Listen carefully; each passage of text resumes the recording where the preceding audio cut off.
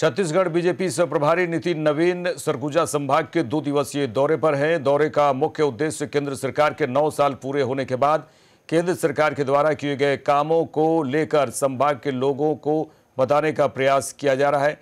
इधर सरगुजा के दौरे पर पहुँचे नितिन नवीन ने मीडिया से बात करते हुए प्रदेश सरकार पर निशाना साधा है और कहा है कि कांग्रेस संभागीय सम्मेलन कर रही है। ऐसा लगता है कि कांग्रेस बीजेपी की सक्रियता से घबराई हुई है।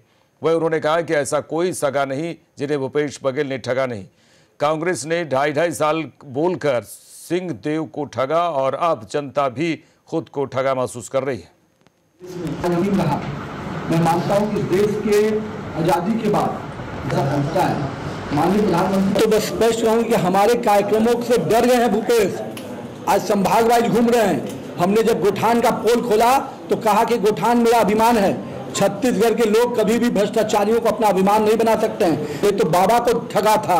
आज उसी बाबा के ज़िले में आए हैं। क्या जवाब देंगे? आज ढाई ढाई साल कहाँ गए भूपेश जी? आपका फार्मूला आपको बताना होगा। वो ऐसा कोई सगा नहीं जिसको भूपेश ने ठगा नहीं। कांग्रेस को अपनी सीट गिनना मुश्किल हो जाएगा।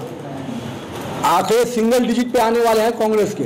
तो बस स्पष्ट रहूँ कि हमारे कार्यक्रमों से डर गए हैं भूपेश। आज संभाग वाइज घूम रहे हैं। हमने जब गोठान का पोल खोला तो कहा कि गोठान मेरा अभिमान है। छत्तीसगढ़ के लोग कभी भी भ्रष्टाचारियों को अपना अभिमान नहीं बना सकते हैं। ये तो बाबा को ठगा था। आज उसी बाबा के ज़िले में आए हैं। क्या जवाब देंगे? आज ढाई ढाई साल कहाँ गए भूपेश जी? आपका फॉर्मूला? आपको बताना होगा। वो ऐसा कोई सगा नहीं जिसको भूपेश ने ठगा नहीं। कांग्रेस को